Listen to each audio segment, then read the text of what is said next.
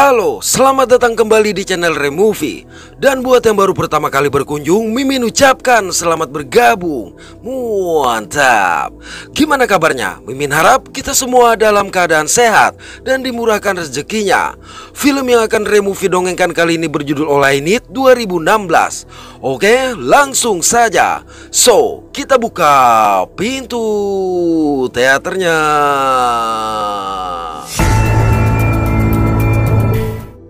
Suatu hari, seorang gadis bernama Chloe terbangun dalam kondisi mulut tangan dan kaki terikat, serta mengenakan pakaian minim pada sebuah kamar.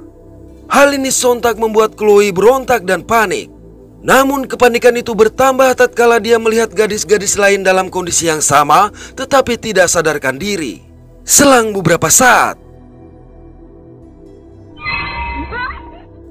Baru saja Chloe dikejutkan oleh bangunnya seorang gadis bernama Emma yang ada di sebelahnya. Mereka berdua dikejutkan lagi oleh suara pintu yang terbuka. Tak lama setelah itu, Chloe melihat sepasang kaki memasuki pintu. Curiga dengan hal tersebut, maka dengan cepat Chloe berpura-pura pingsan. Malang Emma yang masih kebingungan akhirnya diseret oleh orang tadi ke sebuah ruangan. Dari situ, Chloe pun mendengar jeritan kesakitan Emma. Beralih pada seorang pria bernama Andrew yang tampak murung. Pagi itu, Andrew menerima telepon dari rekannya yang menawari sesuatu, tapi Andrew terlihat kecewa. Setelah siap, Andrew pun berjalan kaki menyusuri kota. Andrew yang telah bercerai dengan istrinya ini tidak diizinkan berbicara dengan sang anak. Sampai di suatu sudut jalan terlihat seseorang tengah mengawasi Andrew yang berhenti di pinggir jalan. Ternyata hingga malam hari Andrew masih berdiri di sana. Dia lantas kembali berjalan pulang menuju ke apartemennya. Jadi sang istri tidak mengizinkan Andrew untuk berbicara kepada anaknya lantaran Andrew tidak pernah membayarkan tunjangan anak. Dan jika Andrew ingin memiliki hak asuh sang anak, maka Andrew harus membayar semua hutangnya. Kembali pada Chloe. Dalam keadaan putus asa, Chloe dikejutkan oleh kemunculan seorang gadis bernama Angela. Saat Angela melepaskan tali di mulut Chloe, tiba-tiba Akibat mendengar suara dari balik pintu, maka Angela segera bersembunyi di bawah ranjang dan meminta Chloe untuk diam serta berbalik. Lalu dari ruangan tadi terlihat seseorang menarik tubuh Emma yang telah berlumuran darah. Setelah orang tersebut keluar, Angela bergegas melepaskan ikatan tangan Chloe. Angela mengaku tidak mengetahui apa yang telah terjadi atau bagaimana mereka bisa sampai di sana. Hanya yang pasti orang yang menangkap mereka tidak akan memperlakukan mereka dengan baik. Awalnya Angela meminta Chloe melepaskan ikatan kakinya sendiri. Namun dikarenakan Chloe yang tidak juga bergerak, terpaksa Angela membantu melepaskan ikatan tersebut. Angela memberitahu bahwa dia terbangun di sudut lain dari ruangan itu dan bersembunyi selama orang tadi melakukan pembunuhan terhadap gadis-gadis lain di dalam ruangan. Saat Chloe berdiri, Melihat bahwa di dalam ruangan tersebut terdapat banyak sekali gadis yang diikat, tidak sadarkan diri bahkan telah mati, akhirnya Chloe kembali terduduk. Angela kemudian berniat mengajak Chloe kabur, sayang pintu ruangan terkunci. Ketika Angela mencoba mengintip tanpa diduga, Menyadari sang pembunuh akan masuk, maka mereka segera bersembunyi dalam sebuah toilet. Nasib pembunuh masuk dan langsung menghabisi Angela. Tak lama setelah itu, di tempat lain, seorang pria mengawasi Andrew yang melakukan pekerjaan serabutan untuk memperoleh uang. Saat sampai di apartemennya, Andrew menemukan sebuah paket dengan amplop yang berisi nomor ponsel dan sejumlah uang. Merasa penasaran, maka Andrew mencoba menghubungi nomor yang tertera. Dari sambungan telepon ini, seorang pria misterius mengatakan bahwa dia sengaja meletakkan paket tersebut dengan harapan Andrew mau melakukan pekerjaan pengiriman paket untuknya. Pria itu juga mengizinkan Andrew membuka paket yang ternyata berisi dua buah buku. Menurut sang pria misterius, Andrew tampak bisa dipercaya untuk melakukan pekerjaan tersebut. Dikarenakan masih merasa bingung, Andrew meminta waktu untuk berpikir terlebih dahulu. Selang beberapa waktu, pria misterius kembali menghubungi Andrew guna menanyakan keputusannya. Setelah Andrew bersedia menerima pekerjaan, maka pria misterius pun memberikan sebuah alamat. Dia juga memberitahu kalau sebuah paket telah diletakkan di luar pintu apartemen Andrew beserta setengah dari bayarannya. Sedangkan sisa uang akan dibayarkan saat kiriman diterima. Mendengar itu, Andrew menjadi bingung akan paket buku dan uang yang telah dia terima sebelumnya. Namun pria misterius berkata paket beserta uang yang telah diterima adalah milik Andrew. Alhasil Andrew mengambil paket yang telah diletakkan di depan pintu apartemennya. Di tempat lain, Chloe dibanting kembali ke dalam kamar. Sementara tubuh Angela yang telah dia habisi diseret keluar. Begitu pembunuh tadi keluar, Chloe yang berpura-pura pingsan pun bangkit.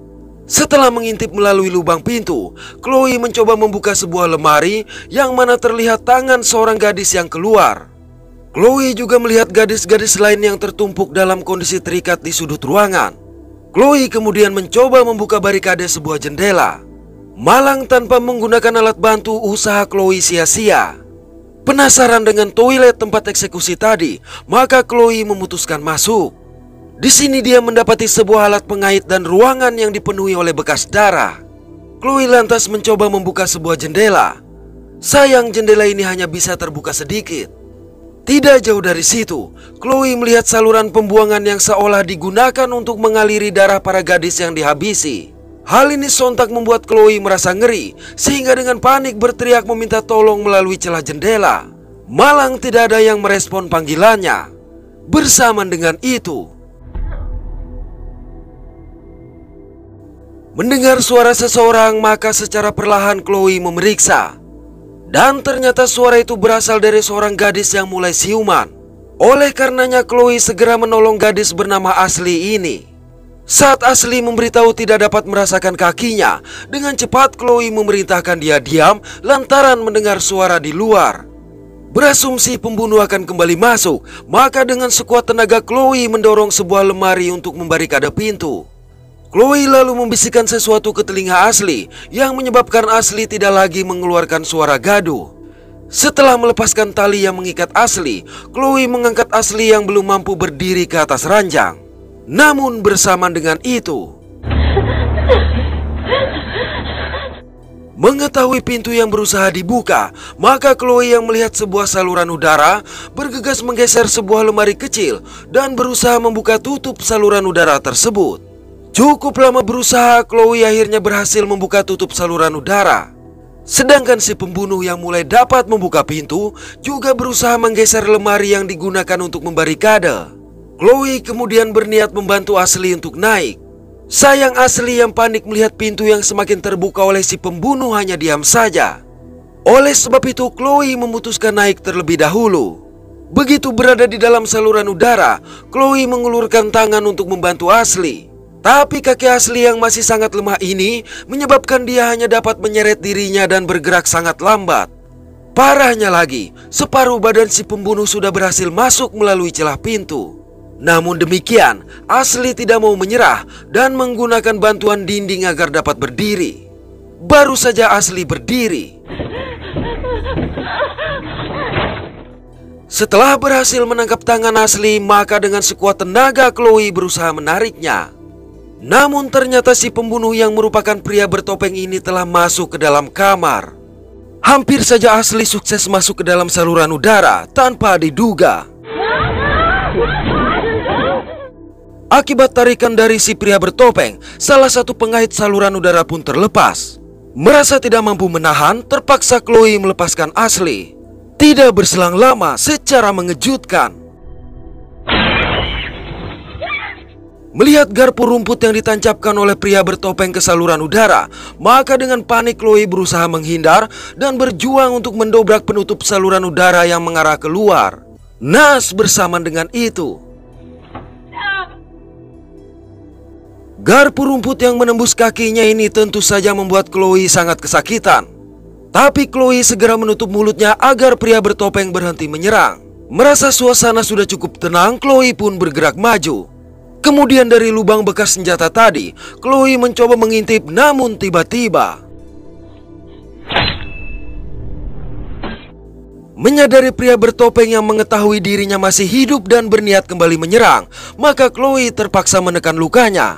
Sehingga darah yang mengalir melalui lubang bekas senjata menetes mengenai topeng si pembunuh. Pria bertopeng yang berpikir Chloe telah berakhir memutuskan untuk membawa tubuh asli yang telah dia habisi keluar dan meninggalkannya di dalam saluran udara. Andrew yang sudah menyelesaikan antaran pertamanya sekarang sudah dapat makan di restoran.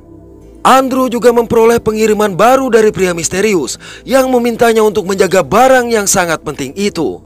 Ketika Andrew membawa barang tersebut ke mobil barunya, seorang pria mendatangi dia tapi tanpa diduga. Kedua pria ini lantas membawa kabur barang tersebut. Tidak ingin kehilangan barang kirimannya, maka Andrew mencoba untuk mengejar kedua pria tadi. Dalam perjalanan, pria misterius menghubungi Andrew. Oleh karenanya, Andrew memberitahukan peristiwa yang dia alami. Mendengar itu, pria misterius memerintahkan Andrew menemukan barang tersebut, atau bisnis mereka akan berakhir. Keesokan pagi, Andrew menghubungi pria misterius dan memberitahu kalau dia gagal menemukan kedua pria yang mencuri barangnya. Meski begitu, Andrew memohon agar diberikan kesempatan lain. Mendengarnya pria misterius berkata, dirinya membutuhkan seseorang yang memiliki loyalitas dan bertindak tanpa ragu-ragu. Pria misterius juga memberikan sebuah alamat dan meminta Andrew memastikan agar orang-orang di alamat tersebut tidak mengulanginya lagi. Dari situ penyerangan di alamat itu pun Andrew lakukan. Setelah tanpa ampun menghabisi kedua pria yang mencuri barangnya, Andrew mengambil barang yang dicuri dan segera pergi dari tempat itu. Di kamar penyekapan, Chloe yang siuman dalam kondisi terluka secara perlahan memutuskan turun dari saluran udara.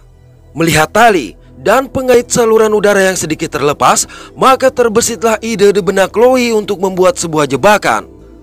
Dia lantas membuka lemari yang ternyata terdapat tumpukan tubuh para gadis yang telah tewas. Hal ini menyadarkan Chloe bahwa pria bertopeng hanya menghabisi gadis-gadis yang masih hidup. Sedangkan yang sudah mati atau belum siuman dibiarkan begitu saja. Chloe mengumpulkan tali yang mengikat gadis-gadis tersebut.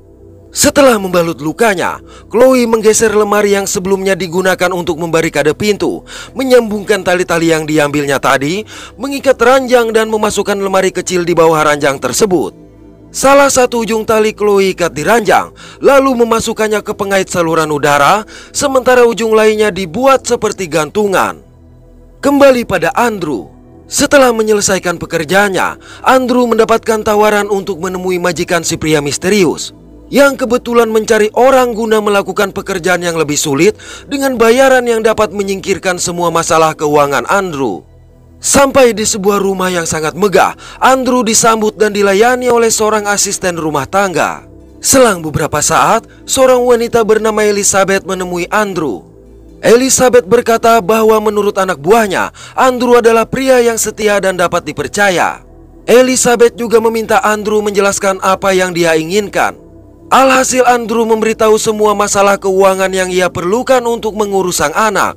Tapi Elizabeth mengatakan Andrew harus mengetahui perbedaan antara keinginan dengan kebutuhan. Jadi menurutnya hal tersebut bukanlah keinginan melainkan kebutuhan Andrew. Karena apa yang Andrew inginkan adalah memberi kehidupan yang layak bagi sang anak yang sampai sekarang hanyalah mimpi.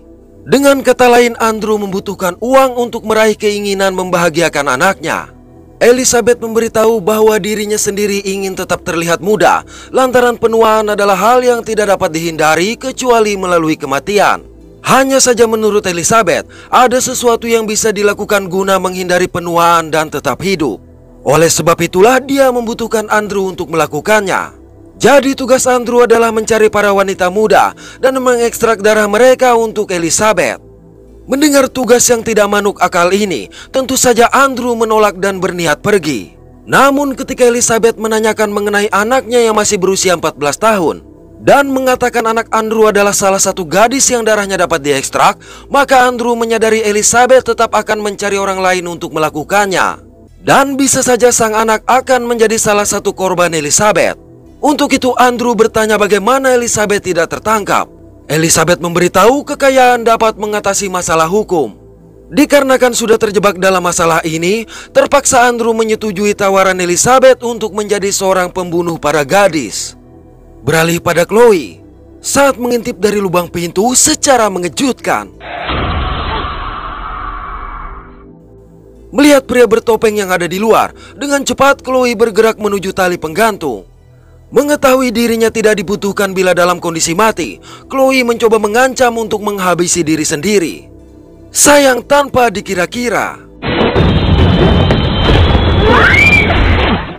Serangan tersebut justru menyebabkan pria bertopeng terkena jebakan. Chloe juga segera mengambil senjata pria bertopeng dan langsung menyerangnya. Walau tangannya sudah tertancap, pria bertopeng masih terus berusaha maju hingga menyebabkan ranjang terangkat. Melihat itu, Chloe pun memindahkan tubuh sejumlah gadis ke atas ranjang. Ranjang yang kembali menyentuh lantai ini akhirnya mengakibatkan pria bertopeng semakin tersedak. Lantaran pria bertopeng masih hidup, terpaksa Chloe menarik dan menahan tali. Setelah pria bertopeng ini tidak bergerak lagi, Chloe memberanikan diri untuk membuka topengnya dan terungkap bahwa pria ini bukanlah Andrew. Chloe selanjutnya membuka pintu kamar di mana terlihatlah rumah besar milik Elizabeth. Menurut Mimin, plot antara Andrew dan Chloe awalnya tidak berhubungan. Namun sampai Andrew bertemu dengan Elizabeth, terungkap bahwa gadis-gadis yang dikurung adalah korban dari Elizabeth untuk diekstrak darahnya. Hal ini menjawab, pria bertopeng sengaja menghabisi para gadis di dalam toilet agar darah mereka mengalir ke saluran pembuangan yang kemungkinan terhubung dengan penampungan darah di rumah Elizabeth. Sementara Andrew yang butuh uang adalah pria yang digunakan oleh Elizabeth untuk menggantikan tugas pria bertopeng yang telah dihabisi oleh Chloe. Chloe tidak dapat melaporkan masalah itu ke polisi, bisa jadi karena Elizabeth menggunakan kekayaannya untuk membungkam hukum. Oke, terima kasih sudah menonton sampai pada akhir konten ini. Mohon maaf atas ketidaksempurnaan dari kami. Semoga terhibur dan sehat selalu. Mantap.